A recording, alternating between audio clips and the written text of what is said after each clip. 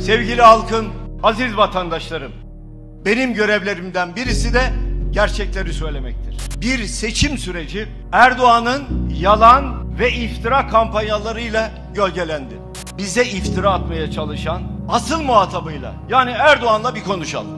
Erdoğan sen değil misin terör örgütleriyle defalarca masaya oturan? Senin ne haddine bizim vatan sevgimizi sorgulamak? Senin ne haddine bize kara çalmak? Ben terör örgütleriyle masaya asla oturmadım ve hiçbir zamanda oturmayacağım. Nokta. Senin izlediğin hiçbir tavizkar gizli kapaklı yolu izlemeyeceğim. Nokta. Dürüst ve ahlaklı olacağım.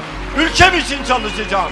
Vatanım için çalışacağım. Sen değil misin FETÖ'yü besleyip büyüten, ayağına kadar giden, ne olursun yalvarıyorum geri dön diyen sen değil misin? Sen değil misin onunla el ele verip milletin ordusuna, şanlı Türk Silahlı Kuvvetlerine kumpas kuran? Bu millet bunları bilmiyor mu?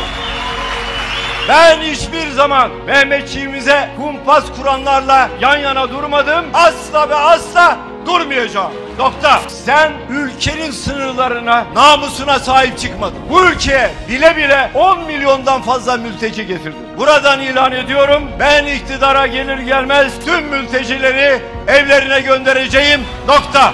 Erdoğan sen bu ülkeyi uyuşturucu baronlarına teslim ettin. Memleket mafya babalarının barınağına döndü. İktidara gelir gelmez uyuşturucu baronlarının tamamını kökünü kazıyacağım. İki adet torbacıya öldürttüğünüz gerçek ülkücü kardeşimiz Sinan Ateş'in hesabını kuytuda saklanan suçlulardan soracağım. Yanan yürekleri soğutacağım.